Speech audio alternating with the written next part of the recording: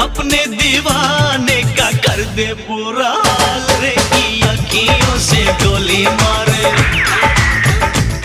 की अखियों से गोली मारे?